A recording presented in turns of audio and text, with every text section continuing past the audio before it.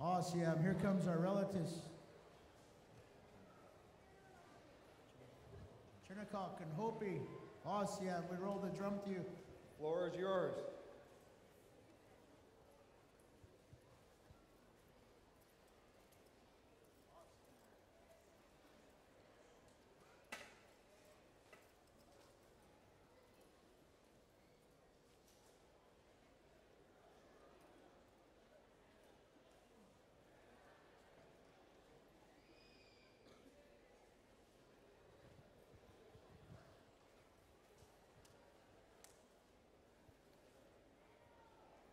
Aloha, Squaxin Island. I want to thank you for this opportunity last year. I uh, asked permission to bring a canoe family to your shores, and you granted that. And I want to thank you for this opportunity to be of service in this way. I'm humbled before all of you. I'm not really. Actually, I, I do know how I got here, being of service. I, uh, I want to say off the, right, right off the bat, um, I'm sober my adult life. And I'm here because I'm sober.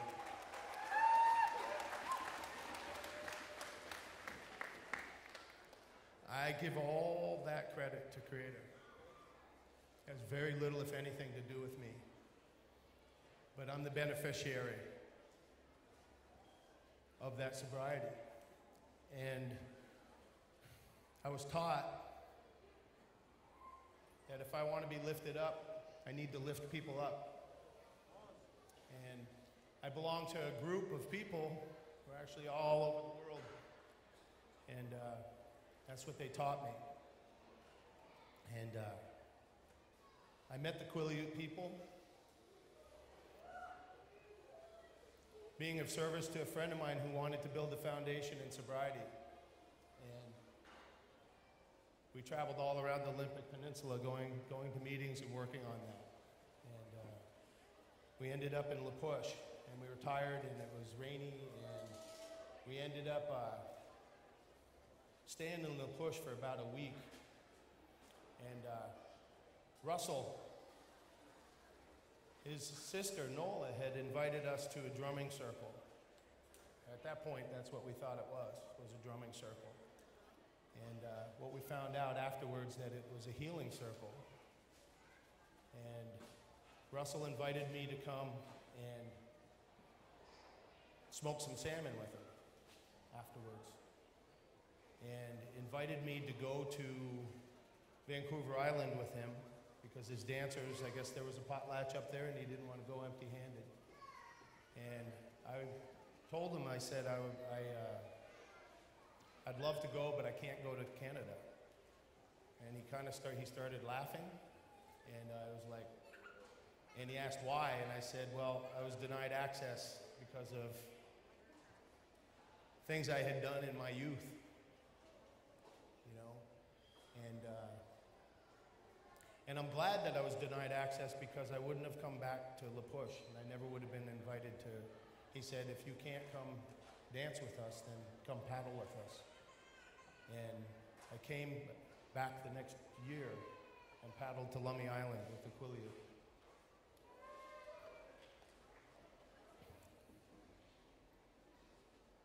My life will never be the same because of that experience. My Hawaiian friends and family, my Hawaiian friends and family asked if they could come. And I said, I'm not qualified, I'm not, I'm not authorized to make that decision, but I'll ask. And I went to Leroy, uh, I'm sorry, Leonard Forsman at Cowichan because I was invited to go paddle again. And I asked Leonard, I stated what the intention was. And he asked me, What's in it for you? And I was, instead, besides front row seats to the most spectacular journey I've ever been on in my life, I said, Can I ask you a question first? And he said, Yes. I said, My understanding of paddle journeys is to take the wisdom of the ancestors, apply them to our lives today, the current events of our lives today, in front of the next generations, so they can see the, and witness the timelessness of these spiritual truths, in so much that they can build faith in them themselves, so these truths don't get lost, and so the children don't get lost. And I said, Is that what this is about? And he said, That's exactly what this is about. I said, Well, Hawaii's sons and daughters need that too. And he gave me permission to bring Hawaiian canoe. So I went to my I went to my Quileute canoe family and I asked permission from them if I could start with them and paddle alongside of them. And they graciously said, Of course you can.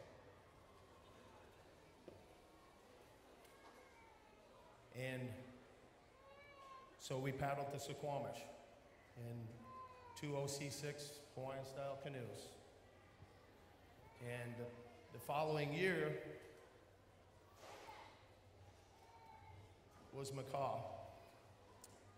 And I was really beaten up, and the best that I could do was go and heal. And I'm eternally grateful for that experience. And when I was paddling, when I was ready to leave, I was talking to Philip Red Eagle. And he said, What's next, Steve? I said that I was paddling with, that I was sweating with the Shinnecock. And I had been speaking with Roddy about coming here and sharing this experience with, with the Shinnecock. And when I was driving out of Neah Bay, on the side of the canoe, well, Philip had said, uh, Steve, there's nothing more than I'd like to see than an East Coast style canoe. He said a birch bark canoe. I thought that was a lofty goal. It was really beautiful to see the Ojibwe have one this year. But when I was driving out, Russell and I were driving down the road. And on the side of the road in, in Clallam Bay was an East Coast style canoe for sale. So I purchased it. And the following year, going up to Swinomish, the Shinnecock came to Swinomish.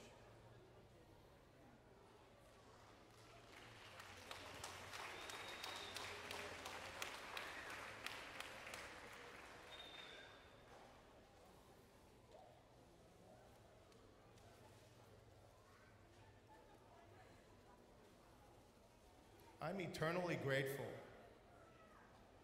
to be in your company. I'm eternally grateful to be of service in this way. I'm not really exactly sure why I've been given these opportunities. I know how I got here being of service, but I don't know the purpose of it. I don't think it's mine to know. I think it's mine to put in the effort and let go of the results. This spring, I came back from Peru. Uh, my intention was I asked permission to bring the Carol people from Peru. And because of customs and what do they call them? Visas. It didn't come to fruition this year.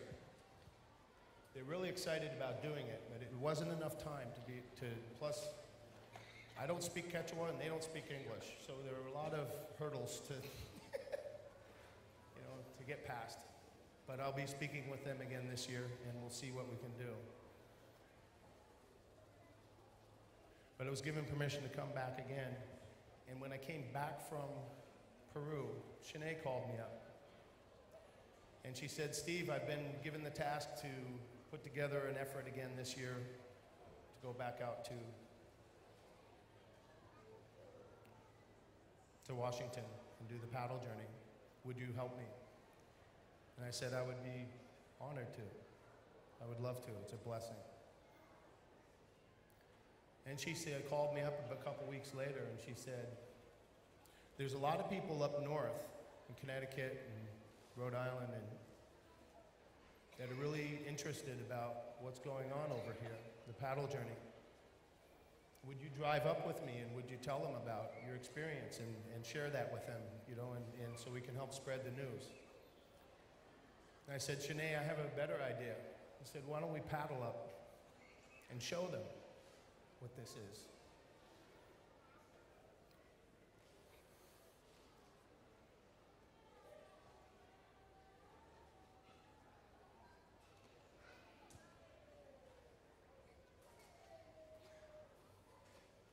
I don't want to be long winded about it, but you know.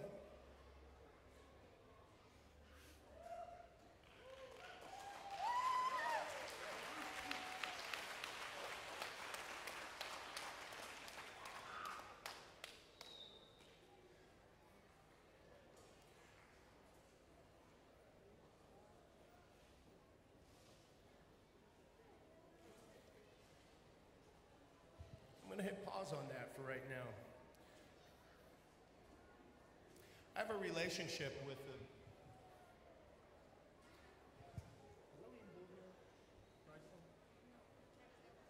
Hey, Willie, Boo, Bryson, can you hear me? Are you anywhere around? I have a relationship with Boo. It started out very tumultuous. He didn't like me being on the paddle journey.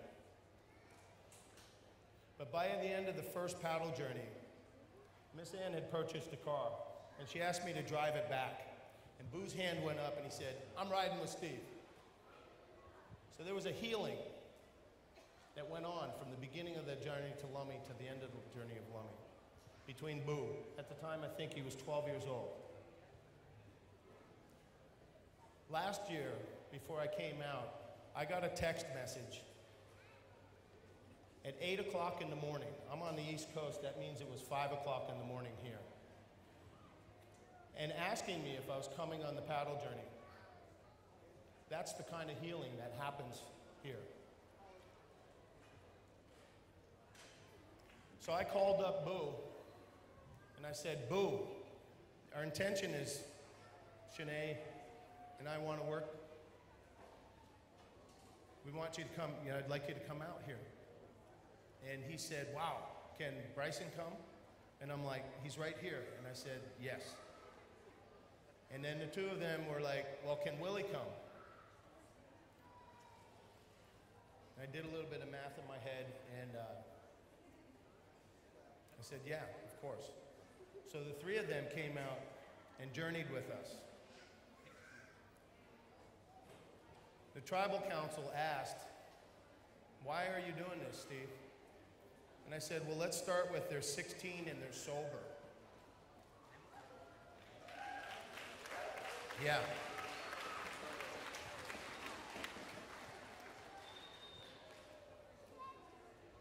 I think that's amazing. That's the byproduct of what's going on here. That's why this is so important. That's why the Hawaiian children need this. That's why the East Coast need this. That's why you said to the north, they started journeys up there. That's why this whole planet needs this. We all need this. We all need to. Everybody feels like, everybody needs to feel like they belong somewhere. And my hands go up to all of you for what you're doing and what's been started and what's blossoming. And I just wanted to share, I'm sorry to be so long winded about it, but I wanted to share with all of you and let you know what your generosity and investment in allowing me to come and be a part of this in this capacity, what fruit it's bearing. And if you'll have me, I'll continue as long as you will.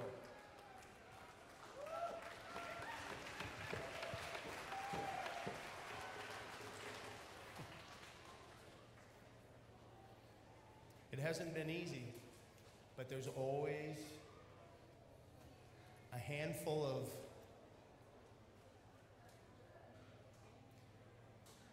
people who seem to be right there lifting you up right when you need it the most. You know? And uh,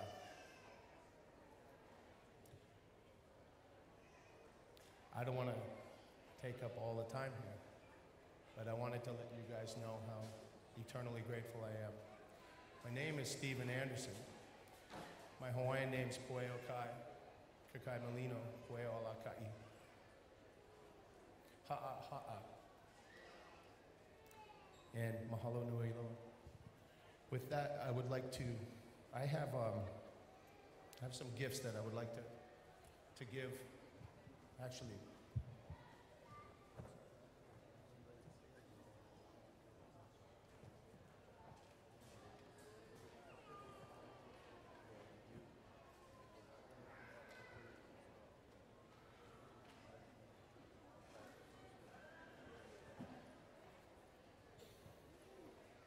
I, um, Willie Boo and Bryson aren't here, so, um, but I, I, um, have some gifts that I'd like to give, and, uh, in part, I wouldn't be here if it wasn't for the Quileute and their love and their generosity, and, um, the truth of the matter, I mean, I'm, I don't think any of us here would be standing up here if it wasn't for Russell. Oh, yeah. Awesome.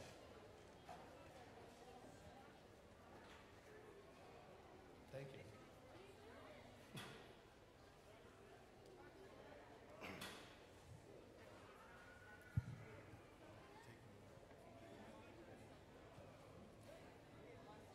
You know,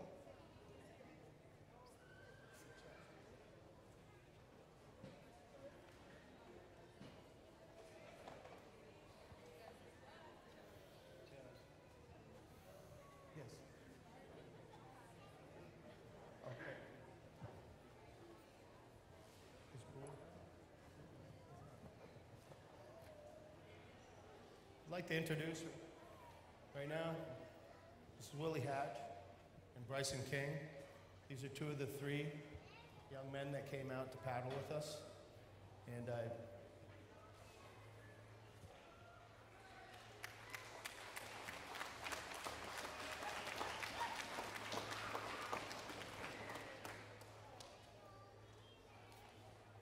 to gift you guys these.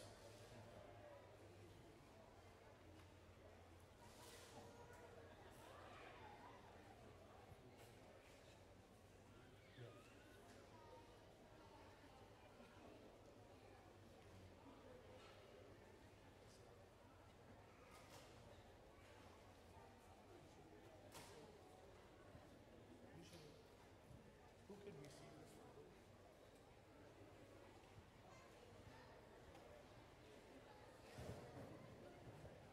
I'm sorry.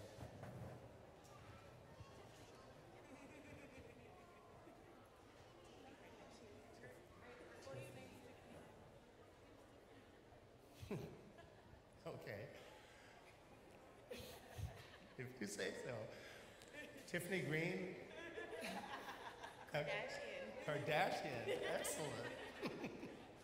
um, would, will you accept this for who? Kenneth Abram.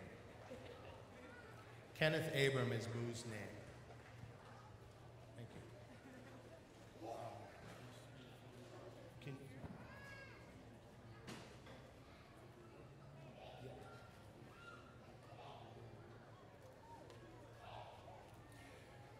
Okay.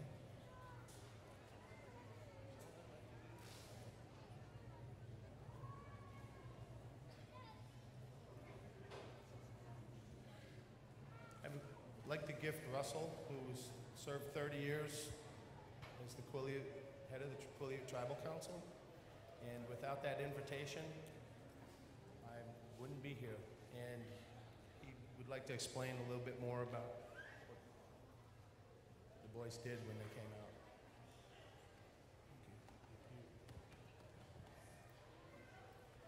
Steve had called uh, the, the Quileute tribe to see if he could get these three young warriors that he's talking about to fly over to New York to go through the same process, what is happening today, what happened yesterday. These kids went back to do that in New York. And the tribal council, Steve had called the tribal council from Quileute and asked him if he could send them up, that he wanted their support to send these boys up. So with that, tribal council said, what, what was in it for us? You know, that, how can we help you? And Steve explained. Then the council said, we're behind you, Steve. We're going to send your kids. We're going to send us your, our kids.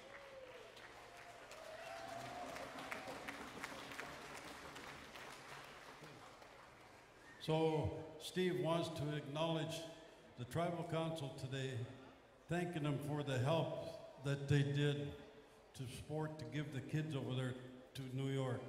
So with the, uh, at this time, I would like to try, call the tribal chairman, Tony Foster from the Quileute tribe. Tony, would you like to come up, say hi?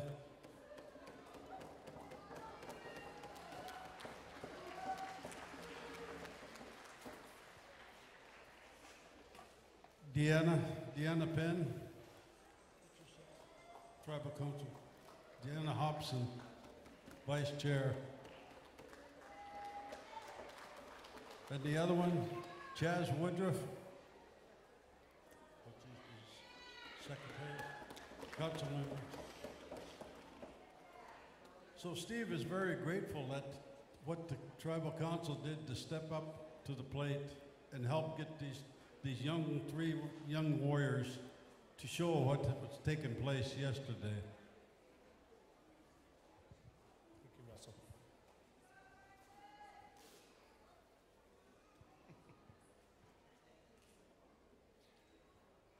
You know, going and doing that on the East Coast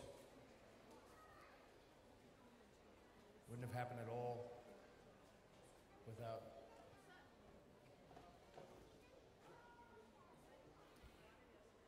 the Shinnecock coming here and Shanae taking the reins and taking it upon herself to organize and to do all that.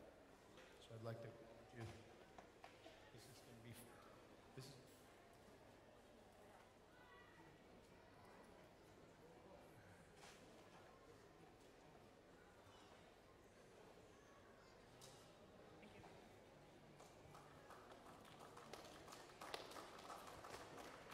to Botany. And with that, My portion of the protocol, and I would like to say thank you, all of you, and I would like to turn this over to Shanae, to Roddy and the Shinnecock, and I should, to the Shinnecock. Oh, you know what? I'm sorry, Chaz would like to say some words. Yeah, I just want to share that um, when Steve called us, he's uh, he's accepted into our tribe, and uh, he assured me. I said, you know, that's that's a lot of zip codes to send three of our youth. So in the conversation with Steve, he assured me that once them boys get there, he'll take care of them and he did a fine job. Um, he called me three days into the trip, I think it was. Two days. Says Chaz. uh, one day, excuse me. He says, I think these boys are getting homesick. They want to come home. So he called me and Tony and I'm not sure who else on the council. I said, well, do what you need to do, you know. Um, if they want to come home, bring them home. So he he told me that he took the boys out for a cheeseburger, and I don't know, it must be good cheeseburgers back there because they stayed for the whole trip, and and they came back safe, and um, they're all they were all proud when they came back. So I mean, it's a good thing, you know. Steve Steve's kind of taking the ball and running with it on the East Coast. You know, he's been on these journeys on this side, so my hands are up to them guys. You know, hopefully in 20 years, the East Coast tribes will have something very similar to what we have here. Uh, the Squaxin, you guys have done a tremendous, tremendous job hosting. Thank you.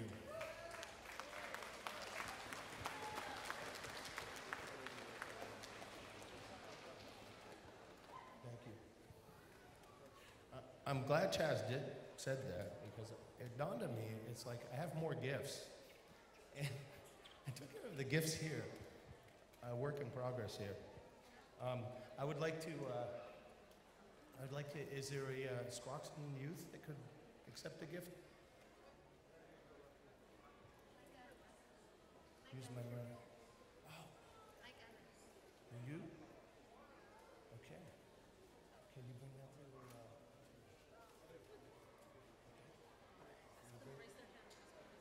Can, can a Squaxin youth raise their hand? Oh, there we go.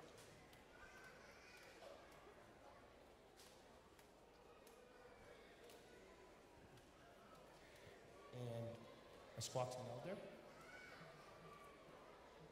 An elder?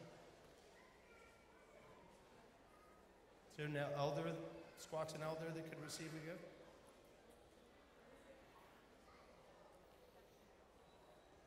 Here you go.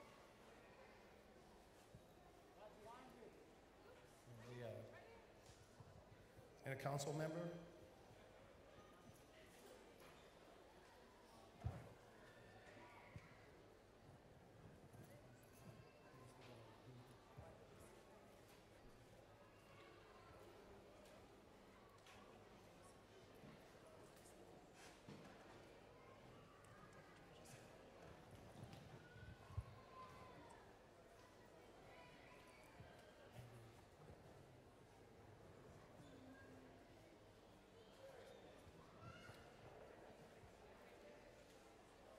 I'm sorry, I asked permission to come here last year. Who was the gentleman that came up and said yes?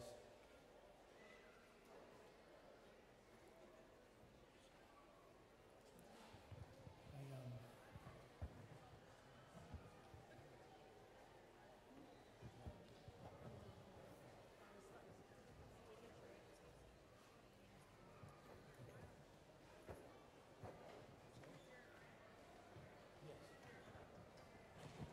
Is Jeremiah Georgia here?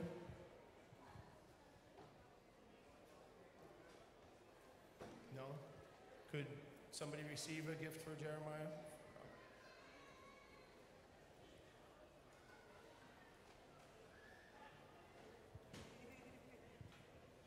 Yes. um, My name's Terry. Thank you. With that, I would like to introduce the Shin. Thank you.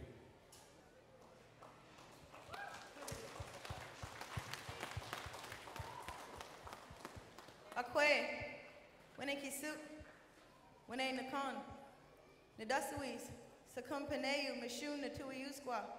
Hello, good day, or good evening. My name is Eileen Canoe. I am Butterfly Woman.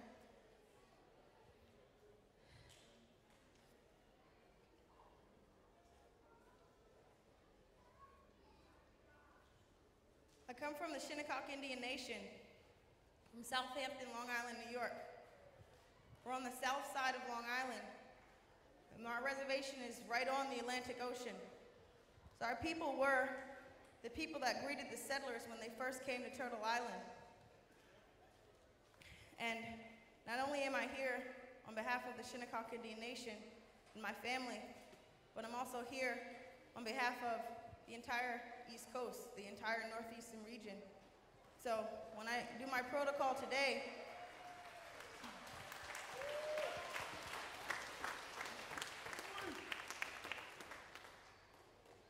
when we take the floor for Shinnecock, and I have to say that Shinnecock is spelled S H I N N E C O C K. Shinnecock, and that means people of the stony shore. So I don't mean any kind of disrespect, but I would like that our name on that list be spelled the right way so that people know who the Shinnecock are.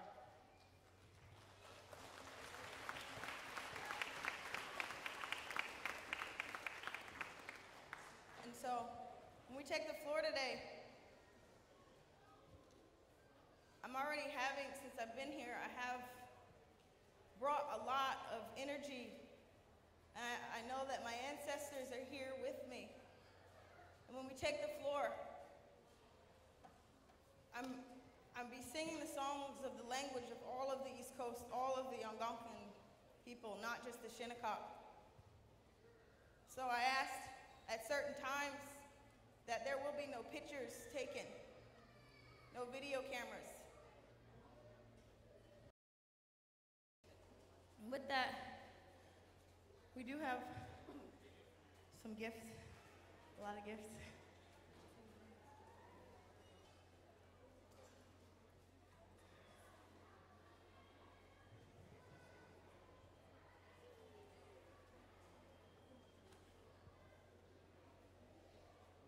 While they're getting ready, we'd like um, the tribal council representative to come out and say a few words.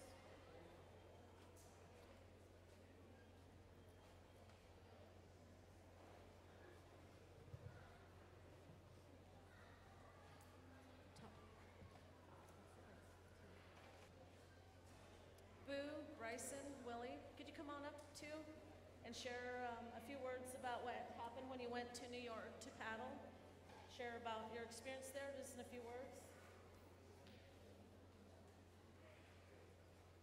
This is Bryson King. He's one of our youth and cool youth.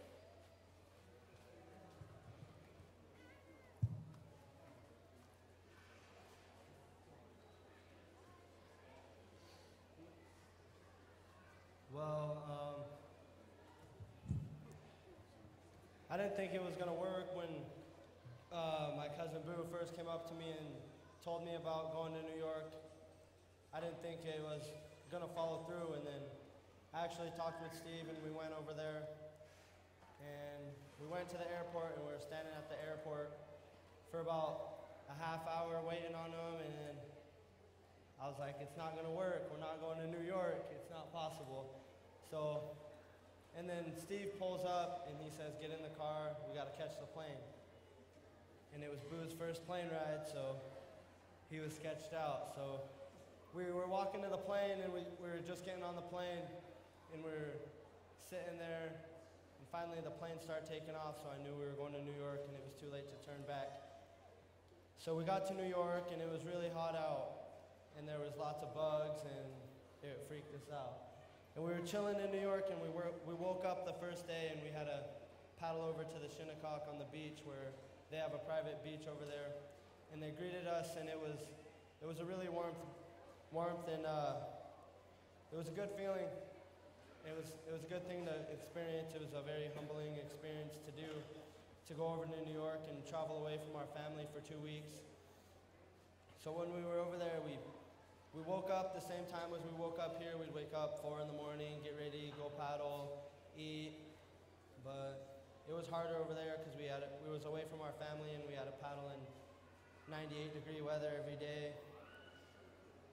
And towards the second day, first day, we'd get homesick and then we'd go. We'd want to go hang out on the res because that's where there'd be more people to hang out with. And Steve would bring us to the city, and he would bring us to um, the city of New York, and we really liked that, and it was really big. But towards the end of the trip, it was a good, humbling experience because we knew we, we knew we started something new, and we started something good, and we we made them feel feel good over there. And we came back home and we couldn't wait to go on journeys over here to paddle over here. And it's a, it's a good feeling over here because we're getting fed well and we're, we're doing good. So we hope to go back to New York next year and make that journey happen again. Thank you.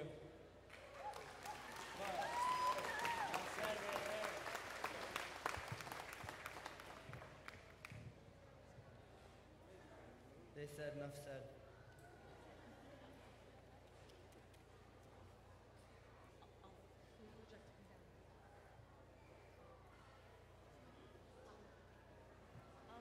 Everybody here with the coolies come out and help her give gifts away? She needs everybody to pick up a gift. Can you guys all come out to the center? Okay. Um, just want to say to Bhutan, to Squaxin Island, to Bhutan, to the entire Northwest for allowing us to come over here and paddle in all of your, your waters. No, no, no.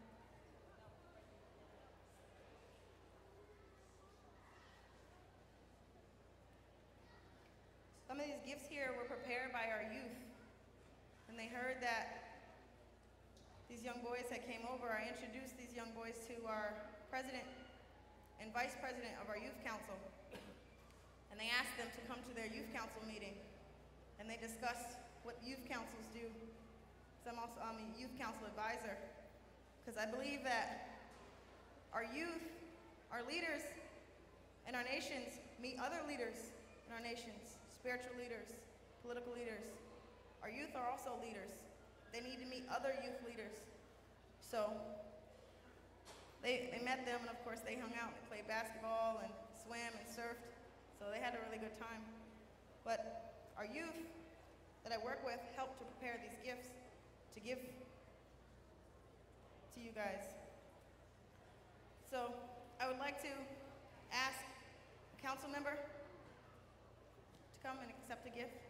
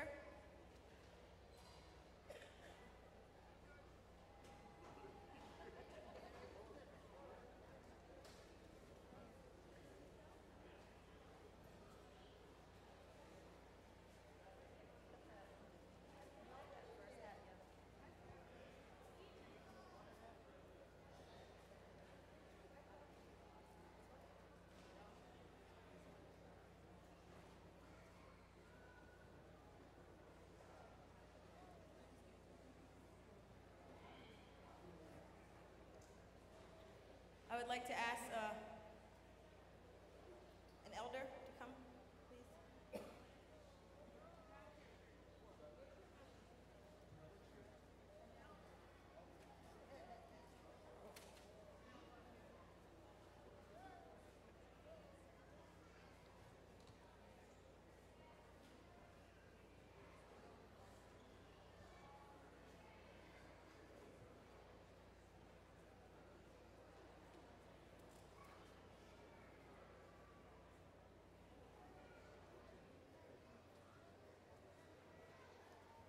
I would also like to ask if Charlene Krise is here.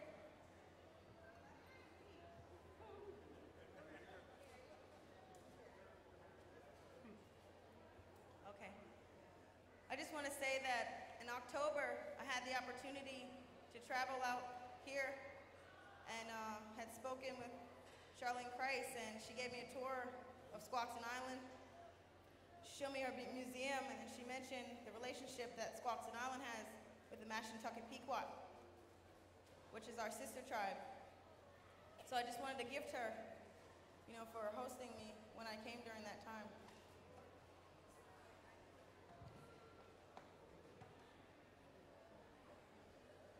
My name is Terry Capomen, and Charlene has left for a few minutes, so she asked me to sit in her seat and represent her.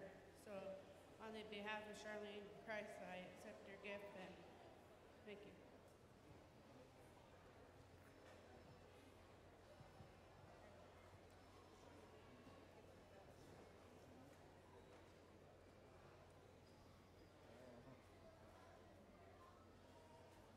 I'd also like to gift her daughter, Alita. Yes, I'd like to gift her as well. She's here. Is she here, Alita? Okay.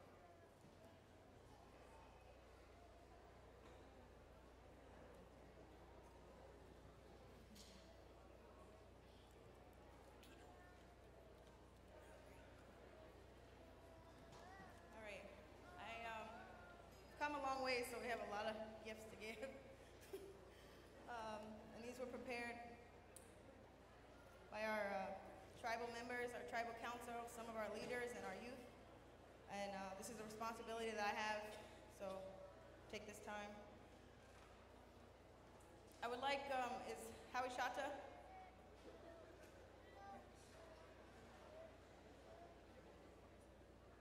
Can I ask Howie Shata?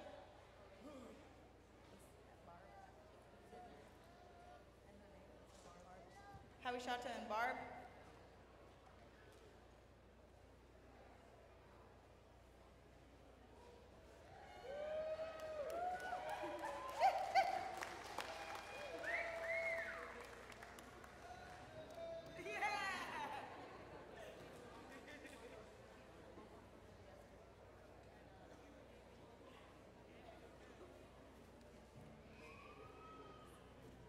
Just want to say that also in October, I traveled out to Quileute and I had the opportunity to witness Howie Shata's memorial.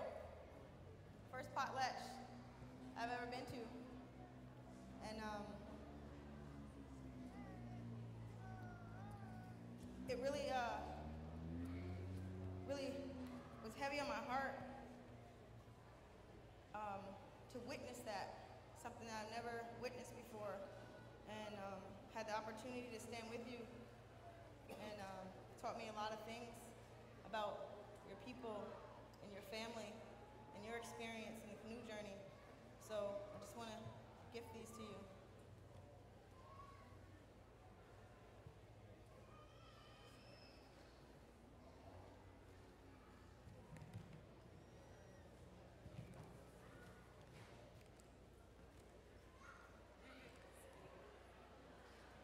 I'd like to gift TJ, uh, Tom Jackson, and Marco, Marco Black. I had to get the names right, but I know them by face.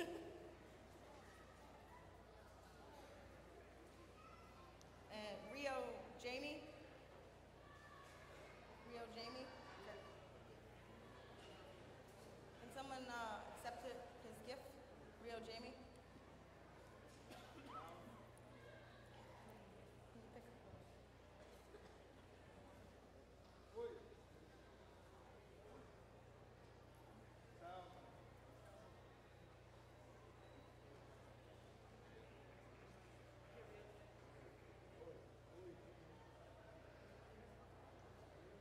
Oh, if I could interrupt for a quick second, uh, it's getting on to the evening here, and if we could ask everybody to please uh, keep the respect for our speaker on the floor here. The noise level is getting a little bit loud, and uh, if we could just show her that respect, she's traveled a long ways to be with us here today. Thank you.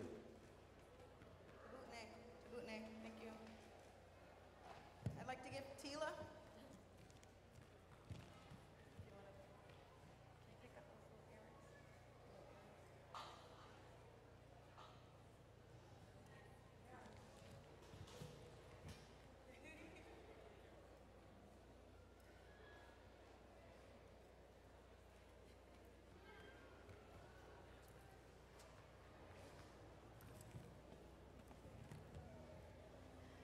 Can I ask that Miss Ann, Anna, and Liz come forth?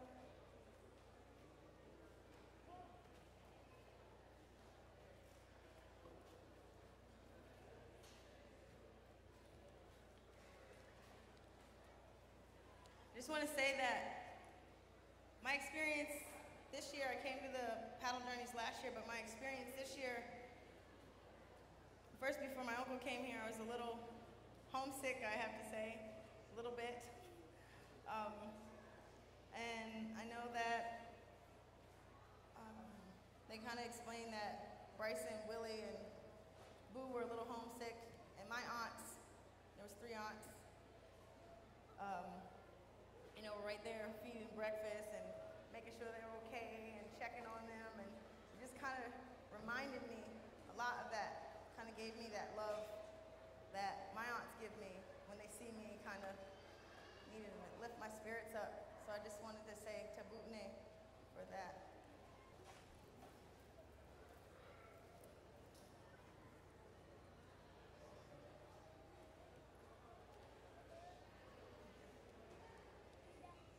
These gifts that um, have wampum on them, and the wampum was used for trade when the Europeans came over.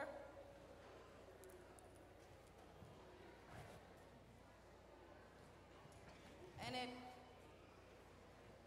it's really dear to us on the East Coast because people don't really realize how valuable it was not only to us on the East Coast, but to all of the United States because it was considered America's first currency. So it's very sacred to us.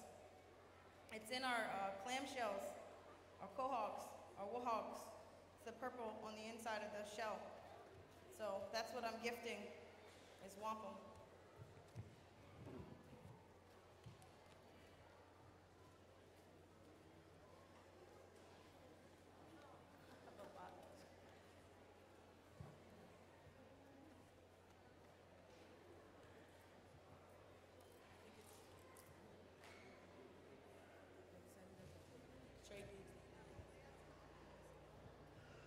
Um, hello, my name is Tila Sablon. I'm one of the skippers for the Quileute tribe. And Shanae here, she's um, been a blessing to show us a piece of, you know, the others, the other coast, and to see other natives who do the same thing because we're not in this, this canoe alone. We're in this canoe with very many indigenous peoples. And I really respect the fact that she knows a great deal about her culture and she's very rich in it. And um, as she has given me these wampum earrings, I think it's fitting that I had, I had um, trade bead earrings on. So I'd like to present them to her and thank her for coming here to, to share all of her riches with us. Watch Leo so stop.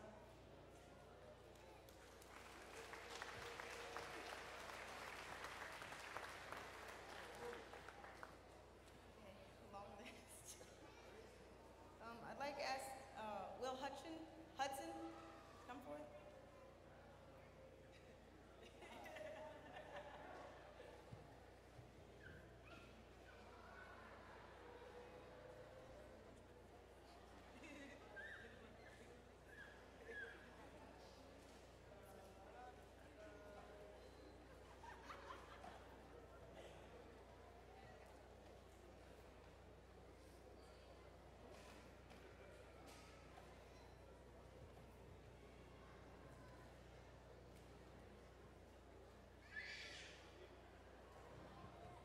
Uh, also with these gifts, um, some people call them medicine bags, but pouches. Where we come from,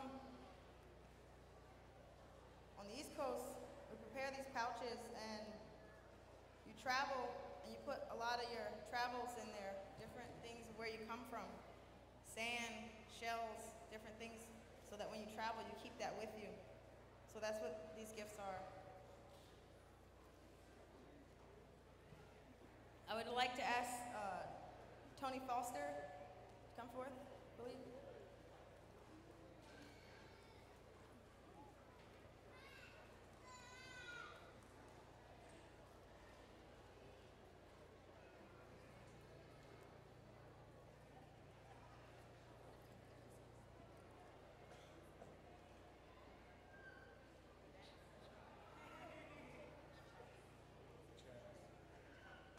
Chaz Woodruff.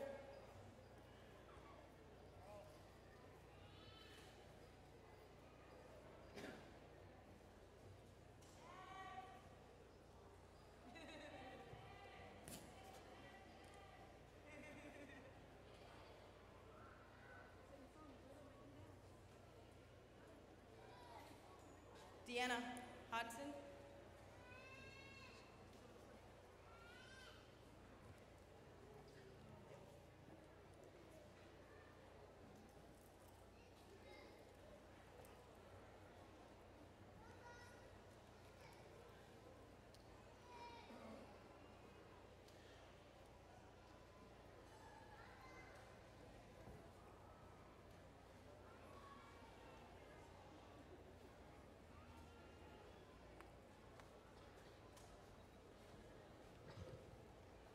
Like um,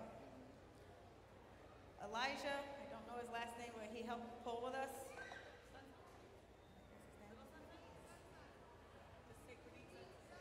Quinit Sansan? Quinit Sansan? He helped pull with us from Nisqually.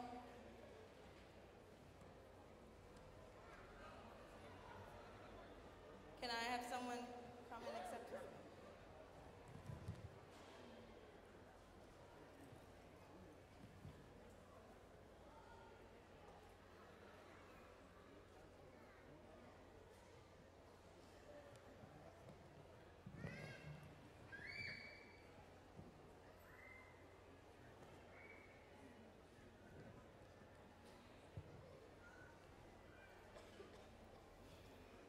I'd like to ask if Russell Woodruff can come forth, or could someone?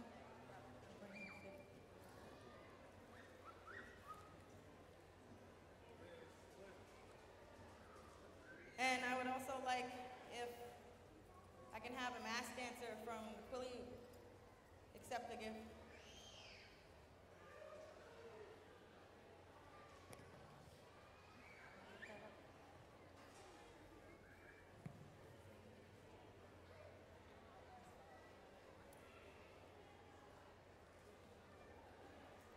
At home, our eastern uh, woodland people, our eastern Algonquian people, don't really practice a lot of our old ways as much. It's still done, but it's not a number of us that do it. And there was at one point in time where we also had masks. And have the opportunity to come and witness that potlatch, Howie Shach's memorial for the first time and see the masks for the first time.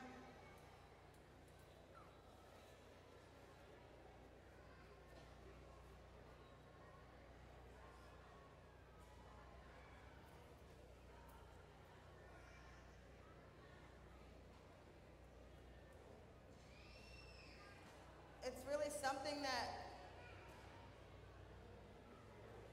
I see our people need to understand that we have to preserve our ways. Because at home, people aren't as strict about our culture anymore, unfortunately. A lot of things are lenient. And I also got a, the opportunity to come to a drum group from Quileute and to listen to an elder stand up and ask everybody to be quiet and say, when these masks come out, no talking. When these masks come out, those doors need to be closed.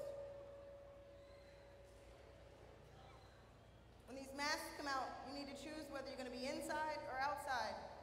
And at home, people are a little bit more lenient. So that's um I pray that through our generation, the seventh generation, we can start to preserve our culture in that way, keep it sacred, keep that medicine. So I just wanted to gift the mass dancer that gift.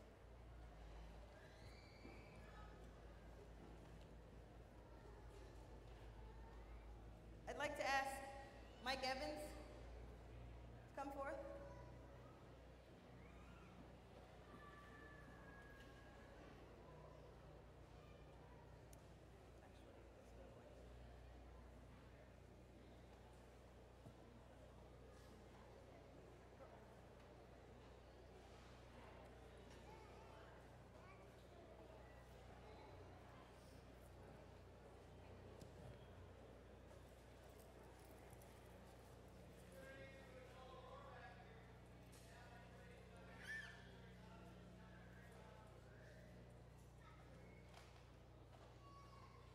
I'd like to gift Mike Evans because when we came out here last year, when I say out here, I mean to the West Coast. We came out, his canoe family, we were a part of his canoe family. And that was my first time on the journeys and understanding what protocol was about and the type of gifts or the people you're supposed to give them to and the ways that you guys have. And he taught me a lot of that. He also took us on a, a tour of some medicinal plants out here. And um, I brought a lot of that information and knowledge back to our youth. And um, I just want to wrap him in this blanket for, you know, giving us that comfort during our journey last year.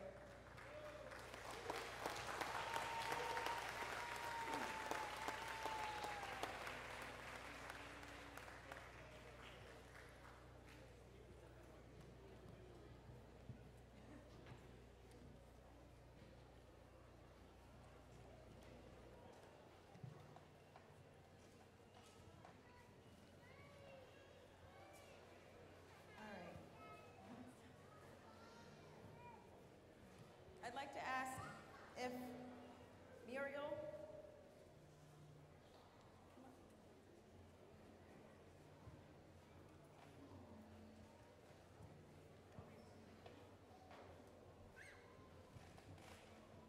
The Hopi also traveled with us, and this is my first time meeting them. And um, I know where I come from, you gift, when you travel to someone's land or shores, you gift them before you leave and thanking them. You're not your own. But she traveled, they traveled with us as a canoe family, but this is my first time also meeting her. And it's almost like she was the mother of our. so I just want to gift you. There are some words being spoken on the floor. If we could hold it down, please.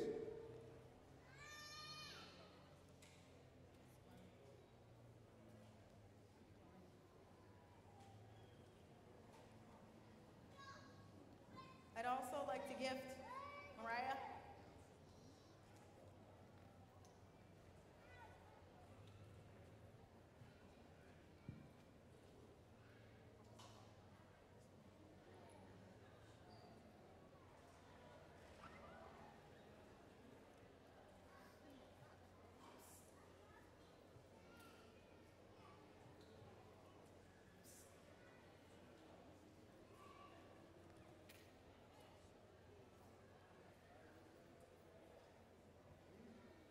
I'd like to give Hannah.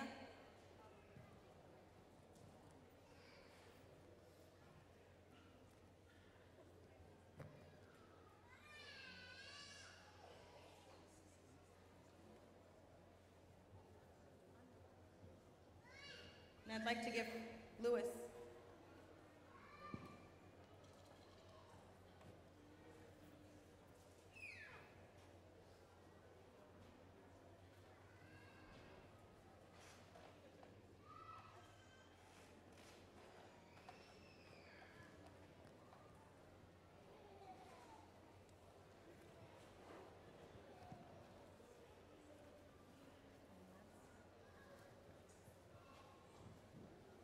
And I'd like to give uh, Steve Anderson.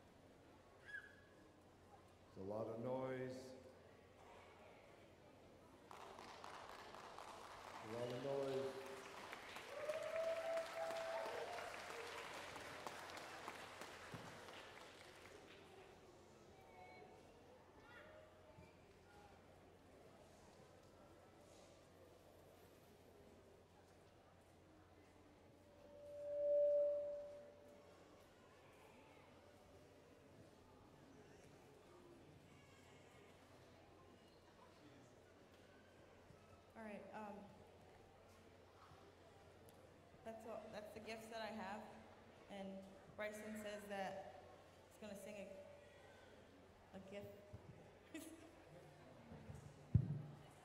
Uh, we learned it's traditional to do a uh, gift receiving song for all the gifts you give away, and uh, we learned you're supposed to accept the gifts in a good way. So I'm gonna, I'll sing a little gift receiving song for all the gifts she's brought over from 3,000 miles away. Hold this right here.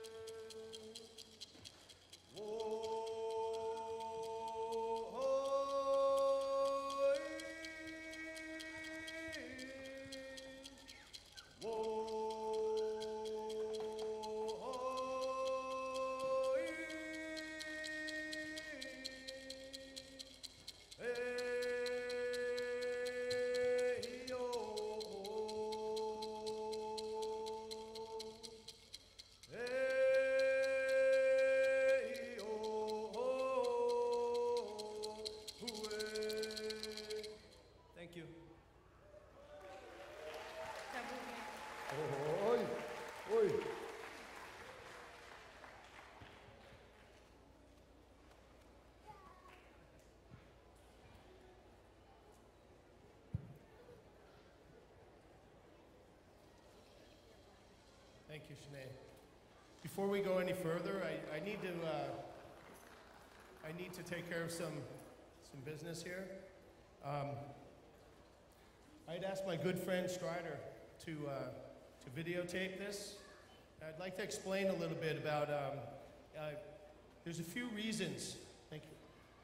There's a few reasons that I, that I video, that, um, I work all year to earn the money to be able to come and journey. I'm a sovereign nation of one. I, uh, it's a lot of work to explain to people. When the Shinnecock came out here the first time, Shanae went home and when we, we, we talked and she was like, why didn't you tell me? How, how, how do you tell somebody what's going on here? How do you tell somebody this experience? My experience obviously is much different than everybody else's here, as is everybody else's experience here. So in part, one of the things that I do, one of the things, I ask permission to video to be able to put together a DVD to be able to hand to people and say, this is what's happening here. Please watch this. If you're interested, give me a call. Here's my number. It usually takes about four hours with that. I don't have that tool yet, by the way, but it usually takes about four hours to try to explain to people why this is a good idea for them to come and witness this. You know? I do acknowledge and I know how sacred all of the work that's done here is. When you run a streaming video, you have to edit out all of these things to not disrespect the floor, to not disrespect the people and the protocol and the, and the regalia and all of it. You know, I'm learning these things, but I respect these things and I don't question them. In my haste, it was mine.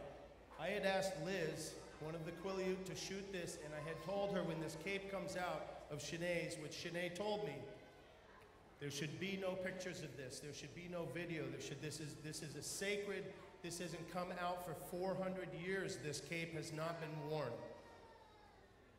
It's very sacred. And I respect that. I did not, in my haste, as I was going out, I couldn't find Liz, and we were coming up to Chumash, we're done. So I went back, I was going my way to the protocol tent, and I asked Strider, can you shoot this for us? I had thought that I had told him to turn it off at that point. But in my haste, I didn't. And he was videoing this while the cape came out. So I have some apologies to make. First and foremost is I want to clean up my good friend Strider's name. He, it was my request that he shot that. So I apologize to all of you, but I apologize to you. I'll shake your hand. Shanae, I would like to.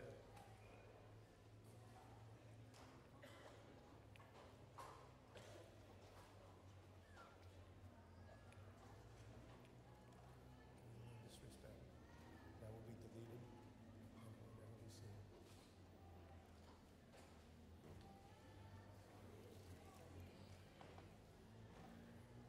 It's you. You shook your hand, we came up.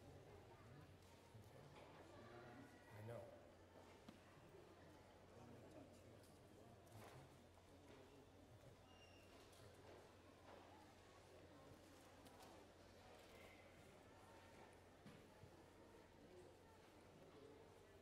Is there a council member?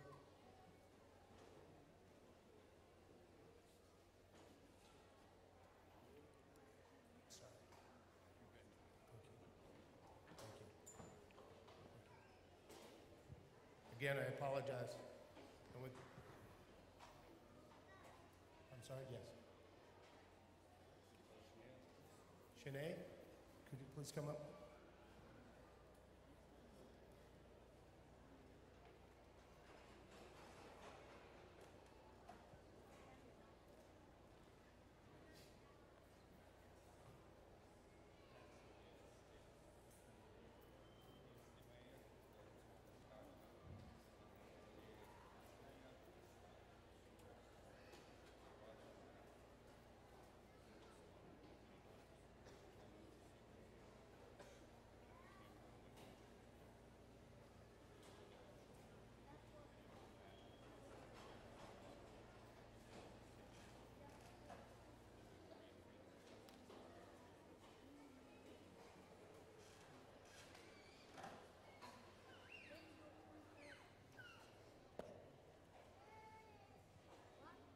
Thank you.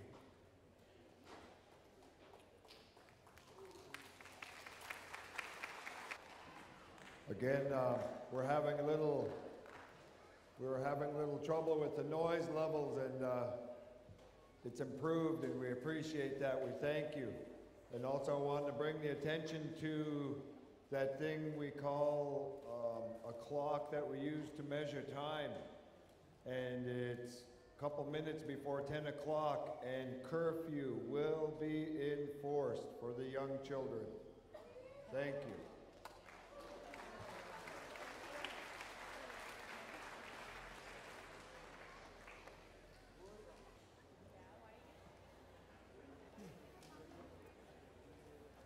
That being said, I'd like to continue. Thank you for your patience and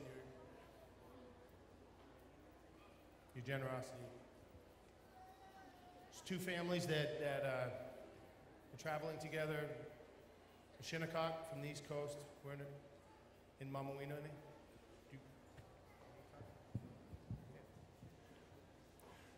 While I was on the phone with the tribal council of Quileute, I was in Hopi, in ceremony with the Carol and Hopi. And Leroy Lewis was sharing the codices, the Hopi codices with us. And I was on, the phone talking to the tribal council, and he was sharing, I had to excuse myself several times as I was trying to arrange to bring the young men from Quileute to go, come out to the East Coast. And in the middle of these codices, they're not written, they're drawn. In the middle of these codices, he was explaining the great migrations of the Hopi. And in the middle of that was a canoe. When I saw that canoe, I was like, Leroy, this is Hopi's a canoe society? And he said, Yes, we are. And he asked about what was happening with the Quileute and what, what I was trying to do. And I explained to him about the paddle journeys. That's when he asked, he said, Wow, that sounds interesting. I would like to come to that. So I called up Jeremiah George and I asked him if it would be, since the Carol could not make it, if it would be all right if the Hopi to come. And he said that, he wrote back and said that that was fine. And with that, I would like to introduce Leroy Lewis, his wife, Muriel Lewis, his two daughters, Hannah and Mariah. And I'd like to turn the floor over to them.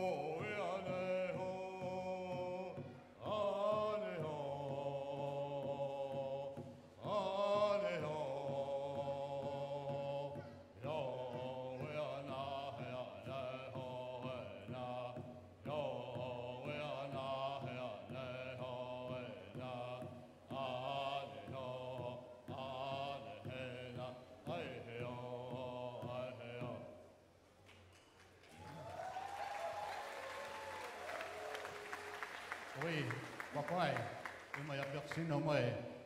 Il m'a dit moi il pas ça veut dire ne peut pas pas là tu.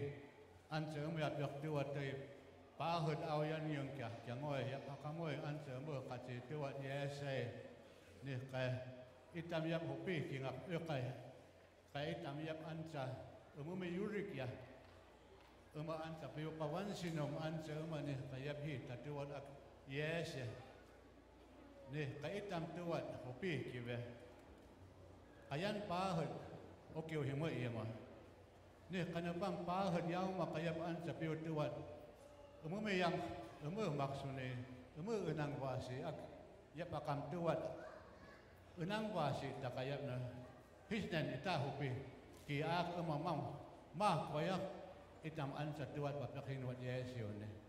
Ne kana ha lai ti umas kwaking ancah kitukinga yaka itama pas tavia puma nuwa tu taka itama putak piuha lai na yak anseta put yak nunu wat itam putak piu e kalyani itam yak so so mi takati wiyumi hakami tamak nawu kyawante one pai op hakyan tane lolo masai tama ngamne um, my daughter would like to sing song for you.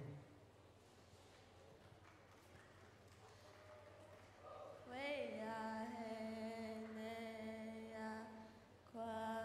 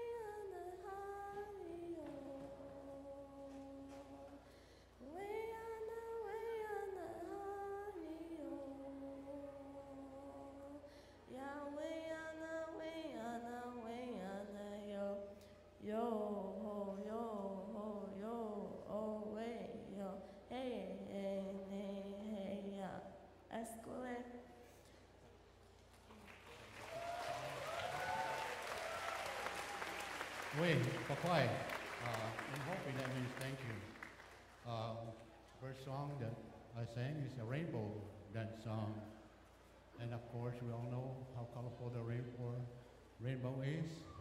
All the colors enlines everybody when we get to see that. So in Hopi, we appreciate all that. Good tidings for everyone when we see the rainbow. And it also has a lot of meaning because the rainbow also projects our ways of communication through crystal, where we see the prism. The crystal identifies the rainbow. So it is in within our cultural society, our ceremonies. My daughter saying it's in reference to all of you, both young and old, that are here and all the people around the world, that we humbly fulfill our lives until we are old and to fulfill our endeavors as we move along in life. That's what she was expressing in the Hopi song that she had just sang. I would like to say that I was overwhelmed to see all of you people working together. Our tradition, our teachings brings everybody together. And I see that here. And also,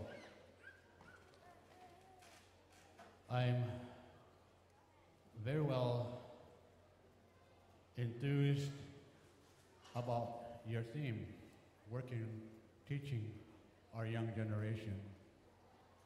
That's where it happens. And it also happens with the parents, the grandparents. At Hopi, we do the same thing. We start our young ones at a young age getting involved with the traditional dances, social dances.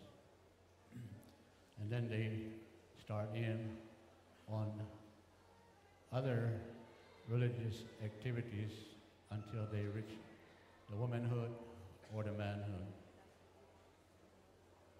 At Hopi, we are dry farmers.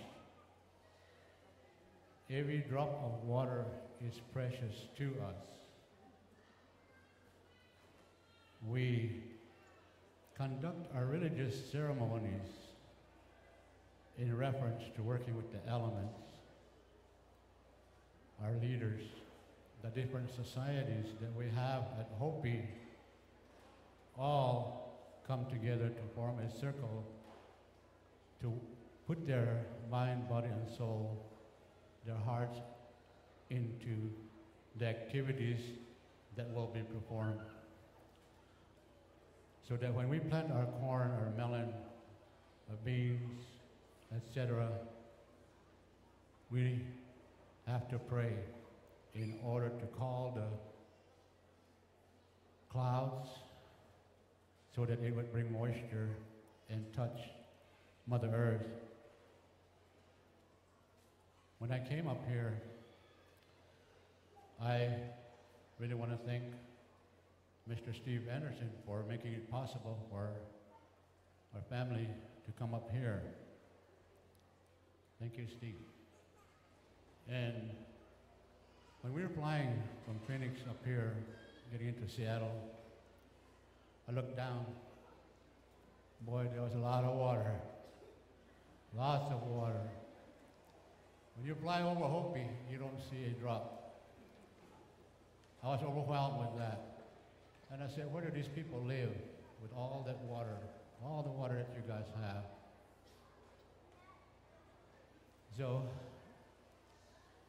we landed, and Steve came to pick us up, and we started down toward your reservation, and I felt welcome. I felt the energy. And I knew that all of you people had the energy to come together, even though you had traveled a long ways through your paddling. I see all the trees, green, the ground, Mother Earth, covered with grass, green, green grass, about eight, ten inches high. In Hopi, you see a lot of dust. And, you know, it's just like a cushion. You walk on the grass, you, feels, you feel light. And it gives you a different feeling. And I appreciate the fact that I am privileged and had been welcomed by your people to come up here. And I do thank all of you. Now that I see that there's many, many different uh, tribal members throughout the coast. I asked a gentleman when I first came in, and uh, when they were singing the song and the ladies were out there dancing, I asked him which tribe was uh, singing the song. And he said to me, there's 27 different tribal uh, members that were singing. And I said, wow, that's what you call togetherness. All their hearts were together. And I really appreciated that. Because at Hopi, we're the same too. We have the different villages come in to support our dances. Um, right now, uh, this past month we had our sacred ceremony, what they call the kachinas. They go out, the spiritual beings, to the sacred mountain at Flagstaff. And that's the end of the ceremony for the year. And then, following in August, September, we have the young ones who entertain the people, the unmarried girls, and they dance with their nephews, social dances. We have the butterfly dance, with the buffalo dance. We have different kind of dances, social dances. Then as our calendar progresses, we get into the women societies where they have their own sacred ceremonies. Then you go back to your solstice, December, when the solstice ceremonial leader, which is my wife's uncle, starts our calendar year off, going back to day one. The Hopi then works with the sun, the moon, and the stars. Wherever they're set, they know when to call and start the ceremony. Then from there, you go on into your Kachina society. So our calendar year is year round. It also involves planting when it comes time.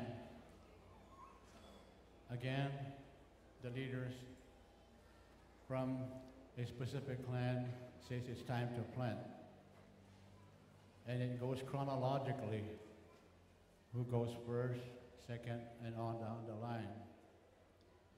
From there, we start nurturing our fields, our plants, getting involved with our ceremonies so we can call in the clouds so that they can sprinkle what we have planted. So, like I said earlier, every drop of water is very, very precious to Hopi. And we brought the uh, sacred water up, and for some reason, we had to take our water back at the airport. Everybody had their water in bottles, so did we. For some reason, was taken back and was examined. So we had to put it in the luggage, and we carried it out. But then, uh, when we had the water ceremony, it had a different feeling. I know there was a connection from here to Hopi regarding water. That was a good sign. And that means that we're all together. We're all brothers and sisters. And that our hearts were all there. And back to the water. When we first got on the canoe, that was my first canoe ride. Was, I was all shaky, scared. Never seen so much water. The, the canoe start rocking and you grab for the sides, you know. And I'm glad the Kulu people there assisted me and also my family. They pulled. And it was enjoyable how you people travel to get from here to there. Our people run to different mesas back and forth. That's our means of travel and communication. So we at Hopi, you know, I guess we, we all are different in our different settings, meaning that Hopi doesn't have abundance of water. And to say a few more about Hopi, my Hopi name is Pentima. My maternal side. I'm a flute clan. And my paternal side, I'm Kachina clan. And I'm been blessed in a baptismal way at birth. So my name was Pentima to the germinating Kachina. When you plant your seed, it germinates and then it starts growing. And that's my name, my Hopi name. And I've been with the elders since I was nine years old at the request of my father's brother, who was the Kachina clan chief. Ever since then, I've been with the elders. Going on 50 years, I've been with them. So they've been telling me stories about our people when things had started and how things were been done as far as the migration. And I would like to share the migration from the Hopi perspective, how we came to being and how we were identified to be at Hopi Land. I would like to start by saying that through evolution, way back when, man came to being. There was the red man, the black man, the yellow man, and the white man. And we refer to our God as the Masa, the immortal being who was there. He had recognized the different ethnic groups. And when he mentioned to them that you people had been chosen to do specific orders, your marching orders. So he laid some corn down on the ground, different colors, different sizes. And the white man, the black man, the yellow man picked the corn. Hopi was last. The Hopi picked the shortest corn. So the immortal being said, You're the one that I want to work with.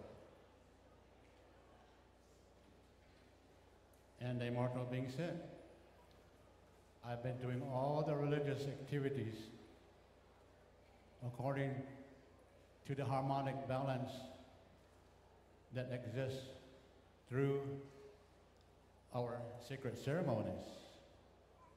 And I would like to share that with you, the Hopi. So then he identified the different clans. Like I said, I'm the flute clan. We're associated with the deer horn, horned uh, animals. And well, like my wife, she's the corn clan, Ka- Kachina clan, snake clan, bear clan, wolf. All of these clans were identified. There was 28 clans that were identified. They're all in pairs. So the white man went up north to the Netherlands, they call that Vikings. The yellow man went east. The black man went south. So the Hopi said, Where do we go? The immortal being said to the Hopi, You're going to find uh, your homeland. And it's like looking for a needle in a haystack. So the Hopi said, How big is your property that we have to find this place? The immortal being said, He held his arms up. He meant the world. So the Hopi said, we have to travel the world over? And he said, Yes. With what I teach you, the sacred ceremonies, that will be your survival kit as you migrate throughout the world.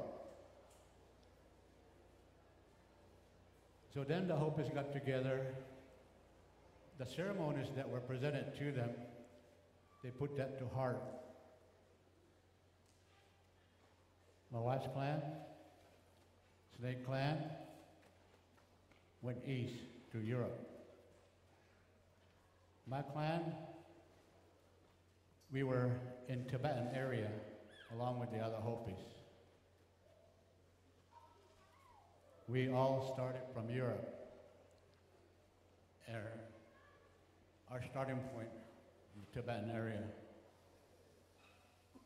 From there, my clan, the Flute clan, went around the, went through the Bering Strait, down to Alaska, Canada, United States, Panama, down South America, leaving behind markings on the rock, while they refer to as petroglyph. You will see a flute player on the walls, but somewhere someone had identified as a Kokopelli, which it, it's not. It's representing my clan. The Kokopelli is a kachina. I can safely say that because I am with the Kachina clan also from my paternal side. The Corn clan, Snake clan went east. They went into France, the Far East, and they even went down to Indonesia, where these people that work with genetics nowadays had discovered albinoism trait down in Indonesia, which has the same trait with Hopi, nowhere else in the world. So all these people are asking how that happened. So we, through our migrations, left people behind for one reason or another. And these people started developing their own ways how to conduct themselves. And when the corn snake and others went to Africa, they went down to the tip of Africa, Cape Cod. From there, they went across the ocean to the tip of South uh, America where our clan had been waiting.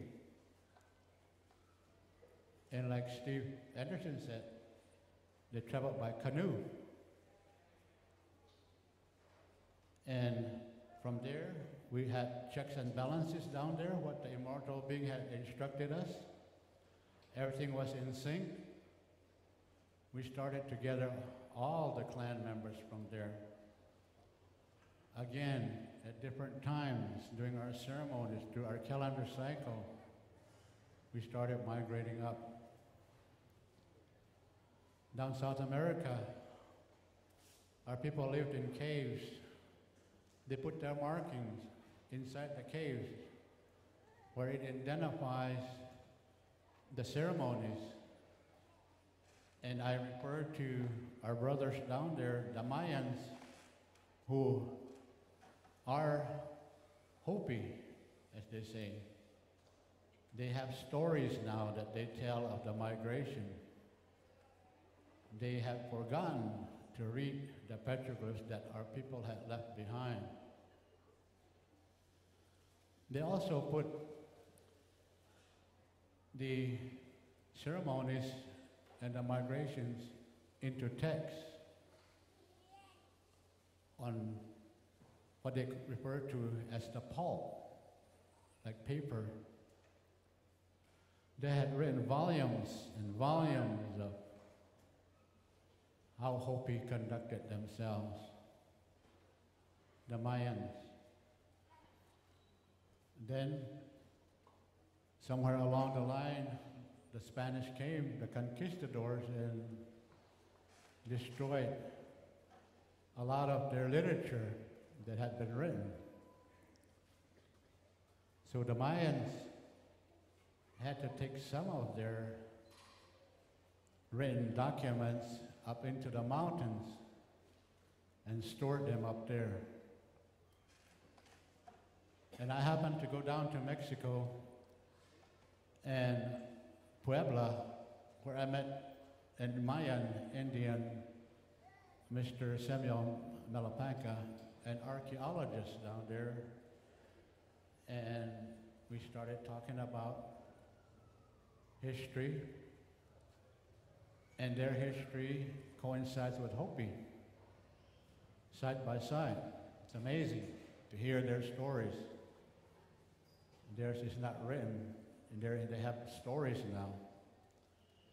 And he asked me how Hopi was, and I said, We're still conducting the ceremonies since day one. We still have all the ceremonies.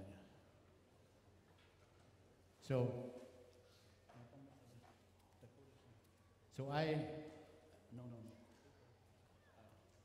So I um, had a, was invited down to um,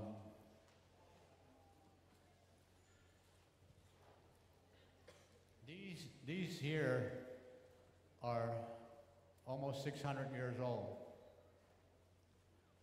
They have been identified by the Mayan,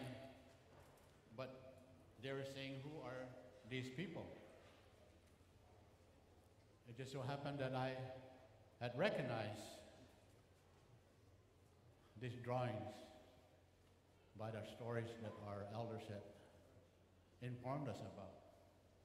I, I'll have some of these copies in a day or two to share with you and go over the meaning of these uh, drawings here. This one here has the canoe on there. And that identifies, again, a connection somewhere along the line. The Hopi identified Hopi land Gosh, I can't remember the exact date. You go back through the um, archaeological, basket one, archaic, all that. But Hopi just says, you know, we just travel. We used to live in huts. And we traveled up to New York.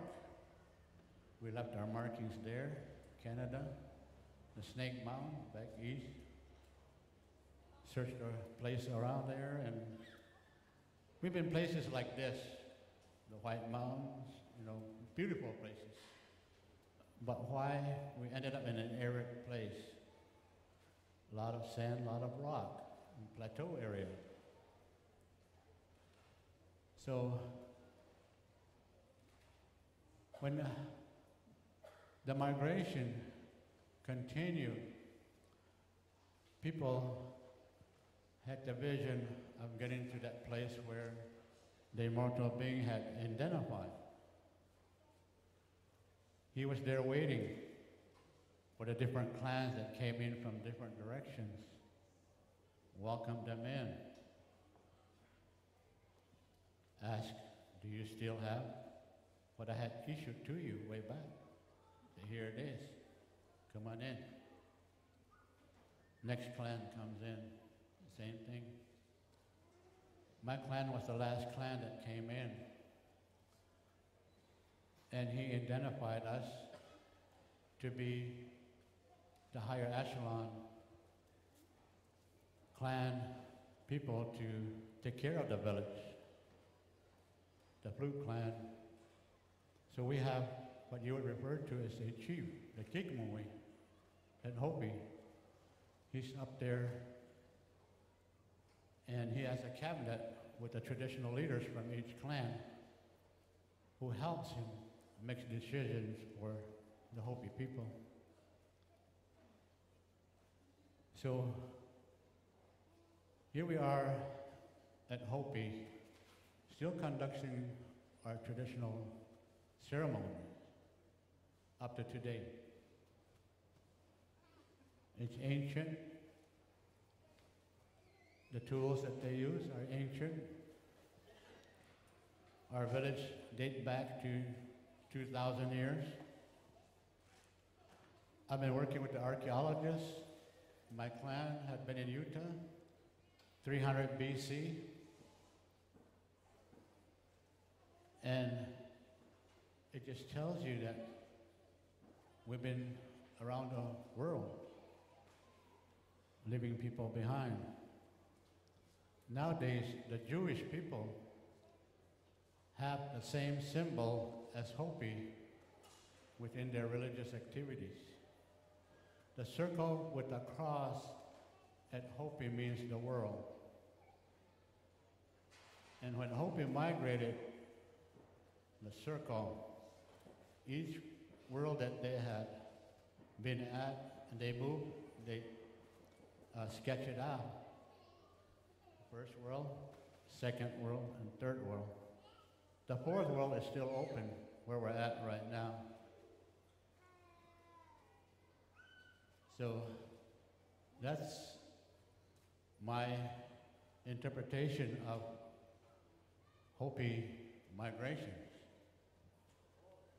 And right now, you know, we're into a different world, the Western world that we live in. It's different. But again, like activities like this, it brings people together. And at Hopi, like I said, we need all the water. But it's sad to say genocide is being practiced on us by our senators. Senator McCain, Senator Kyl. Senator Kyl had introduced a bill to do away with our water, take away our water. It's a settlement, a documented piece of paper. On there, it also identifies to do away with our sovereignty. Now, who would want to think like that? We're all human. We're all in, identified in our own ways. Like you got to go back to the beginning. They're marching orders. The white man was identified to conquer the world. That was their marching orders. The yellow man, the black man were, to help Hopi and conduct this harmonic balance for the world. And that's the instructions. You go back to the cross that I had mentioned. Hitler, Germany knew that. So what did he do? He bent the cross to try to conquer the world again. These are identifications of their marching orders. So here we are, trying to do what we can, but the government interferes with our ways of life. The reservations, you know, we're wards of the government. At Hopi, you have to ask before you can do anything. At Hopi, we have abundance of coal, millions of tons of coal, low sulfur burning. We have natural gas. That's what the white man wants. So they're trying these different uh, perspective of how to control and get rid of us. And this Senate Bill 2019, I believe, is already in the mail. The House of Representatives had already passed that. Now it's going to the Senate. Our people don't have that much money to send lobbyists to Washington, D.C. to fight in our behalf. What's going to happen? If they tackle us, who's going to be next? We all got to stick together and fight for each other. Like your people did with your water, your fishing rights. We hear that. We pray for all of us. Hopi prays for not themselves, but for the people all over the world in general. That's how our sacred ceremonies are conducted. So, just wanted to let you know the political side of what's happening to Hopi and just an awareness of what may happen. Why us?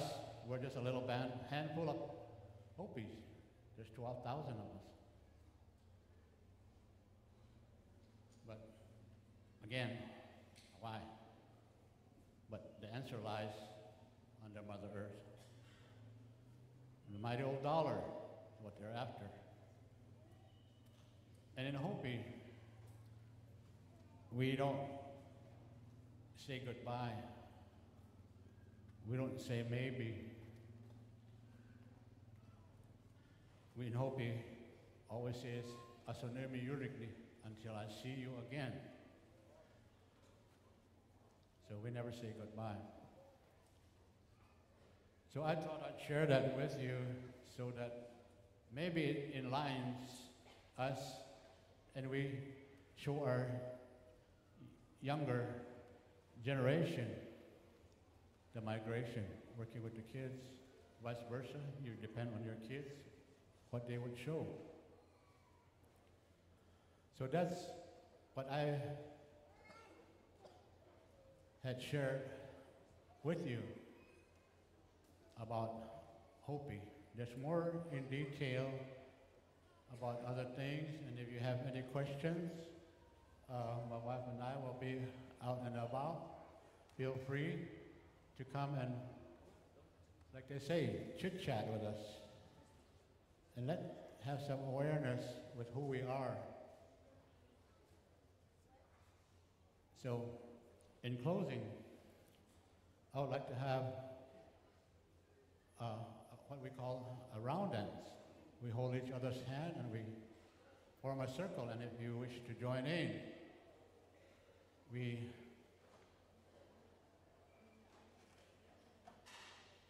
we uh, hold hands while we sing a song.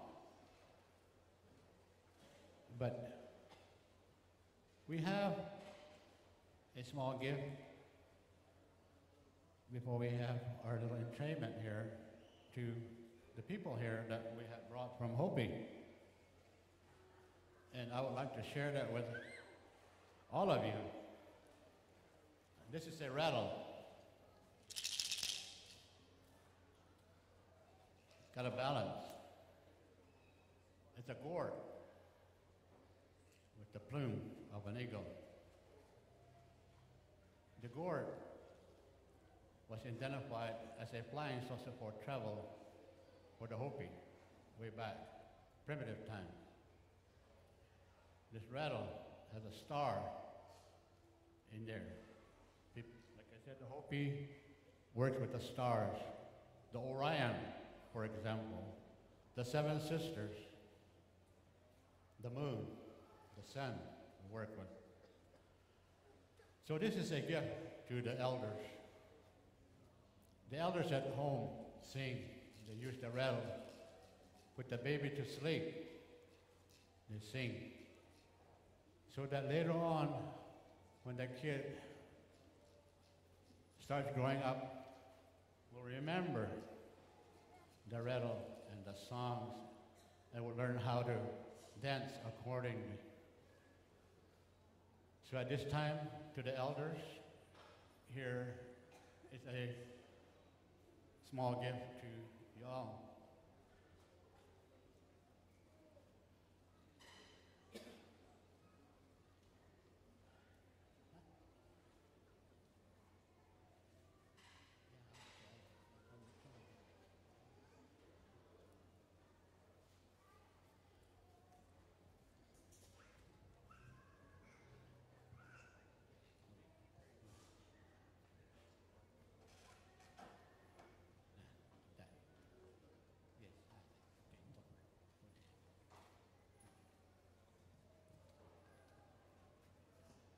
and to the youth. This is what we refer to as the wand. It is used during our ceremonies with the youth. And we help our children to pray in a way that they fulfill their endeavors as they dance and give motions to the song with this wand. So it's, it's a useful tool for the kids to learn how to use this according to the songs and to be able to understand the Hopi words that go into it so that in return they fulfill what their endeavors are. So here's a gift to the youth. Oh, if I could interrupt here real quick. Um, at 11 o'clock, we have a shuttle back here by the protocol tent to Swan Town for the support boats at 11 o'clock, so that's very shortly. I apologize for interrupting, but uh, we wanted to make sure that announcement was made before their departure. So 11 o'clock to Swan Town. For those of you on uh, support boats, thank you.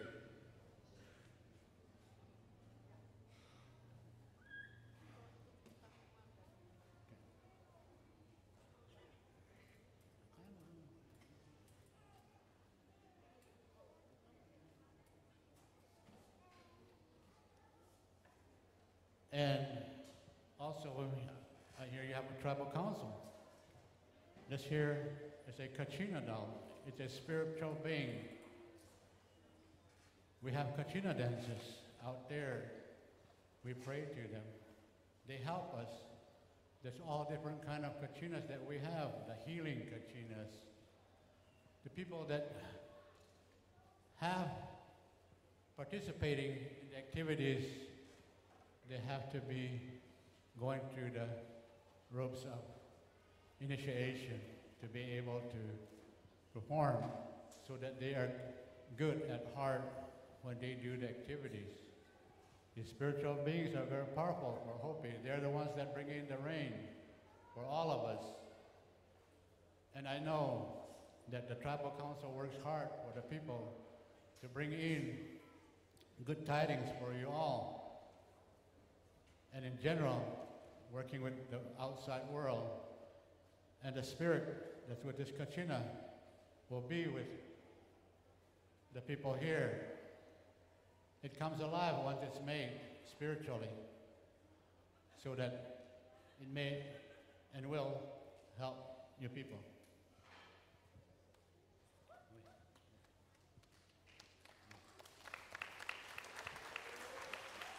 And the last one is to the Kikmongwi, referred to as the chief. He's the one that we all look up to. He's the person that has all the wisdom how to work and deal with people so that we all have a better life to live. And hoping we all respect the leader, the Kikmongwi the chief. He's there. When he calls, working with his cabinet, makes a decision, we all follow. In the event at Hopi, we live in a big mesa that's about 1,000 feet high. If he jumps off, we all follow. That's how we follow our chief at Hopi. So this here is to your here. It's a turquoise necklace that we use in our ceremonies.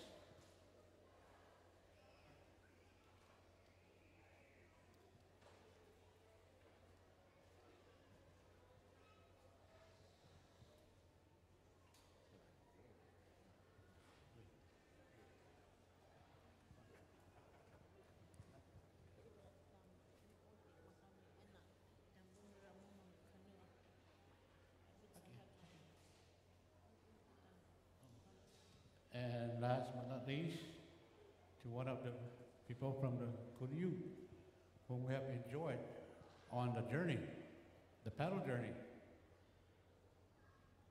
We appreciated what she had done. And I'm thankful for that. So, um, Anna?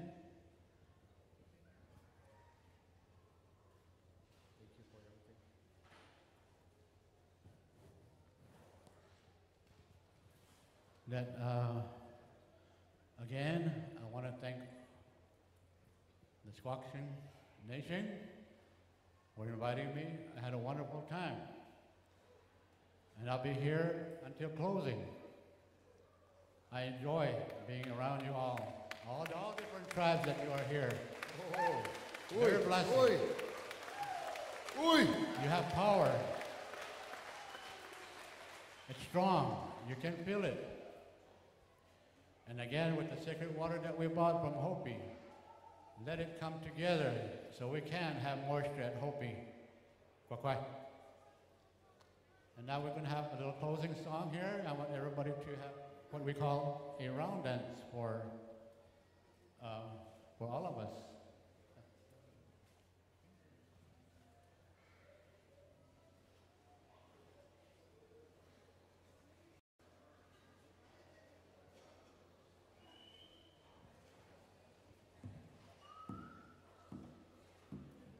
We are